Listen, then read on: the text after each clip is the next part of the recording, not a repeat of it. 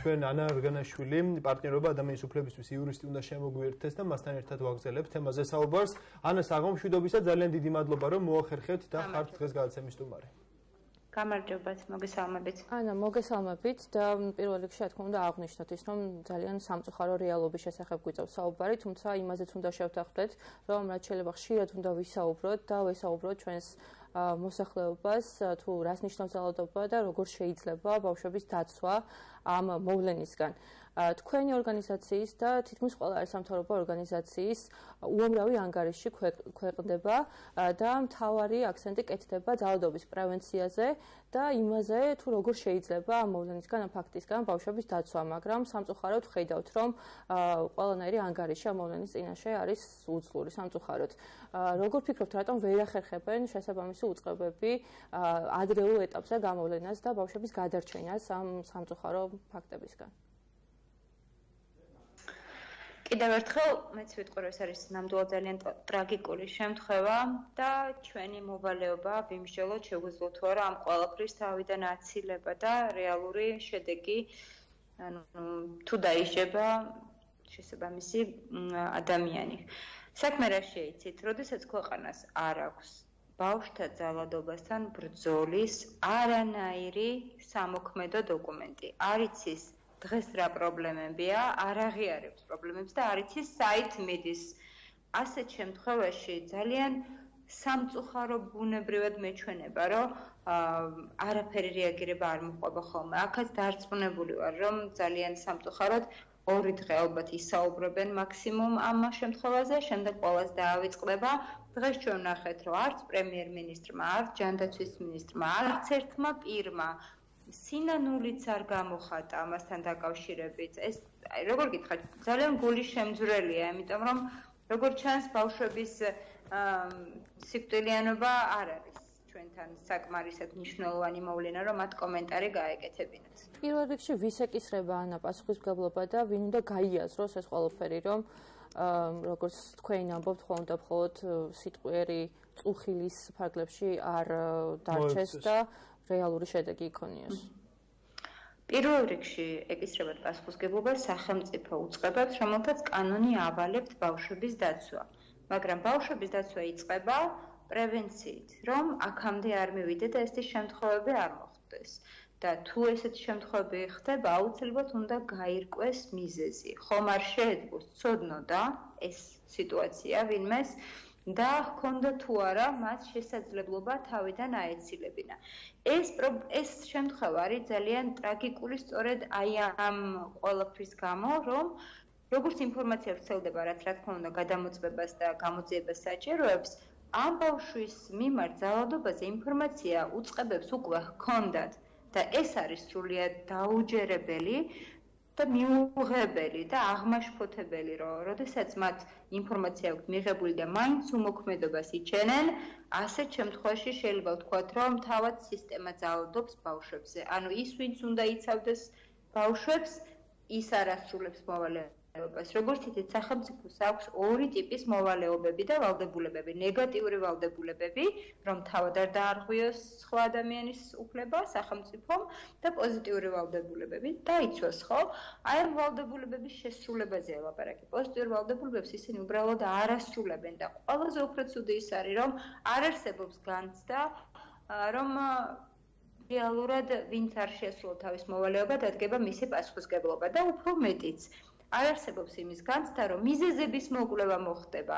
არ გადაწყდება, თქვა, ერთ ინდივიდზე, მაშინ, როდესაც ჩვენ ვიცით, რომ ბავშვთა დაცვის სისტემის არარსებობის პირობებში, როგორც დღეს ჩვენ ვართ, ხვალ ეს კიდევ მოხდება საუბედუროდ, რადგან მიზეზები არ გამოვიკვლიეთ და არ აღკვეთეთ. ეს მიზეზებია დიახ, თქვენ თქვით ერთ-ერთი პრევენციისთვის ჩვენ ვიცით რომ შემაკავებელი ორდერის გამოწერაზეც იყო საუბარი და დასაწყისში ჩვენ ვახსენეთ მაგდა რომ 4 წლის ბავშვთან მიმართებაში დედას ქონდა შემაკავებელი ორდერი, რამდენად ხშირად იყენებენ ჩვენ სახელმწიფოში მსგავსი ტიპის საშუალებას იმისთვის რომ ბავშვი ძალადობისგან დაიცვას და რამდენად ეფექტიანია თქვენი აზრით მსგავსი ტიპის თქვათ შემაკავებელი ორდერი.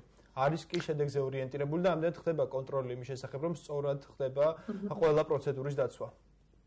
აა საქმე რა შეიძლება, როდესაც ძალადობა ხდება მშობლების მხრიდან ეს არის ხოლმე ყველაზე რთული სიტუაცია. ვინაიდან წარმოიდგინეთ, რომ უნდა შევიდეს იქ სოციალური მომსახურების სააგენტო და რეალურად იმ პირობებში, როდესაც მშობელს აქვს სრული კონტროლი ბავშვის ცხოვრებაზე შეუძლია რომ მაგალითად მტკიცებულებები დამალოს ძალადობის გააქროს მტკიცებულებები ხო ეს ყველაფერი გადაფაროს ასეთ სიტუაციაში ბავშვი უნდა დაიცვას სოციალურმა სამსახურმა ხო? ეს არის ყველაზე უფრო რთული შემთხვევები რადგან ფაქტობრივად ბავშვი დაუცველია რადგან მშობელს ხელში გაცილებით მეტი ბერკეტი აქვს და როცა ის ძალადობს ეს ბერკეტები ბავშვის წინააღმდეგ გამოიყენება. აქ დგება სხვა საკითხი. თუ სოციალური სამსახური ვერ იცავს ამ ბავშვს შობლის ხრიდან ძალადობის შემთხვევაში, ჩვენ, ანუ არასამთავრობებს, რატომ არ გვაქვს შესაძლებლობა, რომ ჩვენ ჩავერთოთ და დავიცვათ ბავშვი? ამას ჩვენ დღეს კანონმდებლობა გვიკრძალავს და სწორედ ამიტომ სოციალურ სამსახურს მიემართება მთელი ეს კრიტიკა და პრეტენზიები, რომ როდესაც ხედავენ, რომ ვერ იცავენ ბავშვს, ბავშვთა უფლებათა დამცველებს უნდა მისცეთ შესაძლებლობა საქმეში ჩართვის. როგორც იცით, ახლა მუშავდება ბავშვთა კოდექსი, საკანონმდებლო აქტი, გვაქვს იმედი, რომ ეს ცვლილება შევა, ვინაიდან სტრასბურგის სასამართლოშიც კი წააგო საქართველოს საქმე, მაშინ, როდესაც სოციალურმა სამსახურმა ვერ დაიცვა ბავშვები შობლის მხრიდან ბავშვების უფლების დარღვევისგან. ანა, საინტერესოა, როგორც ვიცით, ბულინგის შემთხვევაში ორივე მხარე ითვლება მსხვერპლად და სამუშაო და რეაბილიტაციის პროცესი უნდა გაიაროს ორივე, ეს რა თქმა უნდა, საუკეთესო შემთხვევაში ჩვენ ჩვენთან არ ვიცი, რამდენად ხდება და რამდენად იყენებენ ამ პრაქტიკას. რა ხდება მაშინ, როდესაც ფიზიკური ძალადობის მსხვერპლია ბავშვი? მოძალადესთან როგორ უნდა ხდებოდეს? ფსიქო სოციალური დიახ პროცესი და რამდენად ხდება ზოგადად თუ არის ეს პრაქტიკა მიღებული ჩვენს ქვეყანაში? ზოგადად უნდა ვთქვათ, რომ ბავშვთა ძალადობაზე მუშაობა არ იწყება მას შემდეგ, რაც უკვე ძალადობა მოხდა. ზოგადად გვაქვს სოფლიოში უკვე აღიარეს, რომ 7 სტრატეგია უნდა განხორციელდეს და ამ 7-დან რეაგირება არის მხოლოდ ერთი. 6 სტრატეგია რჩება, რასაც ჩვენ არ ვაკეთებთ. ეს 6 სტრატეგია არის შესაბამისი კანონების არსებობა და აღსრულება, უსაფრთხო გარემოს უზრუნველყოფა, შობლების სწავლება და პოზიტიური აღზრდის მეთოდების გადაცემა, რა ვიცი, განათლების კომპონენტში ჩარევა და უამრავი ესეთი ქმედებები უნდა იყოს განხორციელებული და აი თქვენაც აღნიშნეთ, მოძალადე მშობელი ძალიან ხშირად მანამდე უნდა მოხვდეს სისტემაში, სანამ ის ფიზიკურ ძალადობას განახორციელებს, ვინაიდან ძალადობის უმნიშვნელო გამოვლინების შემთხვევაშიც უნდა იყოს სახელმწიფოში ისეთი მონიტორინგის სისტემა, რომელიც დაინახავს ამ მშობლისთვის დამატებითი კურსის გავლის საჭიროებას და დამატებითი მხარდაჭერის, მანამ სანამ ძალადობის შედეგი დადგება, ხო? კიდევ ერთი კიდევ ერთი შემთხვევის შესახებ ვისაუბრეთ ჩვენ. ამ ტრაგედიამდე რამდენიმე დღით ადრე ნახეთ რა შემთხვევა უკიდურეს სიღარიბეში მყოფ ბავშვს რომელიც ოჯახის ჩენის გამო შეიძლება პირდაპირ თქვათ რომ გარდაიცვალა. ამ შემთხვევაში რომელი ორგანოები უნდა ყოფილიყვნენ ჩართულები რა ეკისრებოდა მაგალითად სკოლას.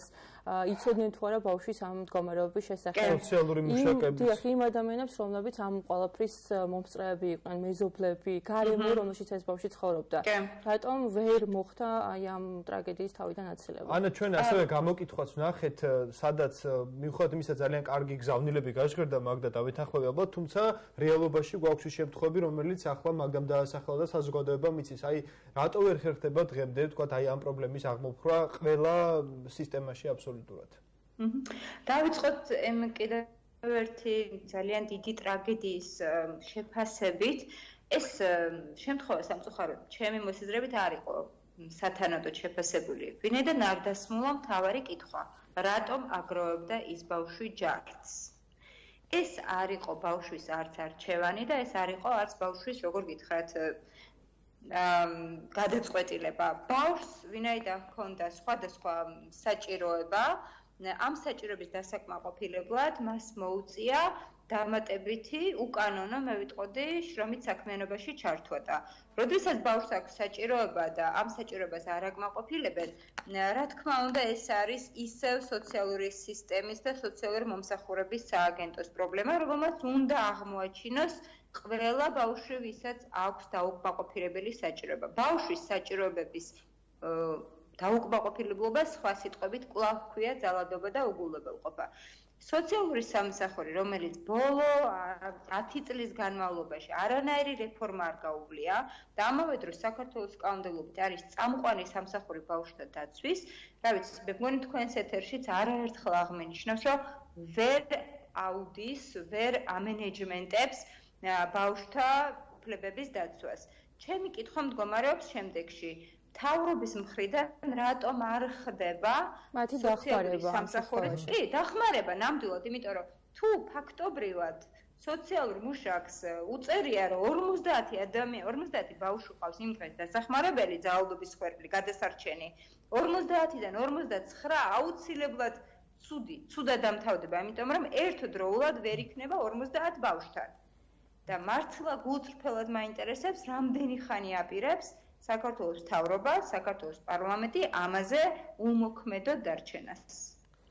დიახ, ანუ საინტერესოა ამ შემთხვევაში გამოსავალი სად შეიძლება ვეძებოთ რა ძირითადად მიმართულებებით უნდა გატარდეს რეფორმები, აი რეკომენდაციების სახით თქვენი პოზიციაც რომ დააფიქსიროთ ჩვენი მაყურებელი უყურებდა თქვენი ორგანიზაციის მიერ გაკეთებულ კვლევებს ინფოგრაფიკების საშუალებით და მართლა ძალიან უარყოფითი შედეგები ფიქსირდება და კაი თქვენ თუ იტყოდით რამდენიმე მიმართულება, სადაც აუცილებლად მნიშვნელოვანია სახელმწიფოს მხრიდან აი უმძაფრესად რეაქცირება, რეაგირება, რა თქმა უნდა, ბავშვების გადასარჩენად და სიღარიბის დონის შესამცირებლად. აა პირველ რიგში ძალიან ძალიან მნიშვნელოვანია, რომ სახელმწიფომ აღიაროს ეს პრობლემა და შეიმუშაოს რაღაც სამოქმედო გეგმა, სადაც ეწერება, რომ დღეს გვაქვს ბავშვთა ძალადობაზე ეს პრობლემა და გეგმავთ, რომ ამდენი წლის შემდეგ აი ამ კუთხით შევცვალოთ.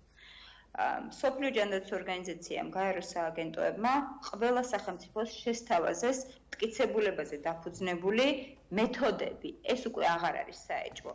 უბრალოდ უნდა გამოხატოს პოლიტიკური ნება სახელმწიფომ და ეს მეთოდები განახორციელოს. ჩვენ ვისაუბრეთ ამ შვიდ სტრატეგიაზე, რომელიც ინსპაირის სახელით არის ცნობილი, საქართველოსაც შეთავაზა, ჩამოსულებიც იყვნენ ექსპერტები, მაგრამ ჯერ თავრობის მხრიდან არ ხდება რეაგირება. ამ სტრატეგიებში გათვალისწინებულია, როგორც თქვენ აღნიშნეთ, სიღარიბის კომპონენტიც, ანუ მშობლების და ოჯახების ეკონომიკური და სამეწარმეო კუთხით გაძლიერება არის ბავშვთა ძალადობასთან ბრძოლის ერთ-ერთი სტრატეგია.